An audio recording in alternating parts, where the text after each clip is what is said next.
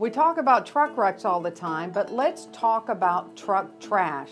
And by that I mean the actual trash in the floorboard of the tractor. Let me tell you, those receipts are stamped, time and date. We know exactly what the driver was doing and when, and we compare them to the logs. Let's see if they're really doing it right.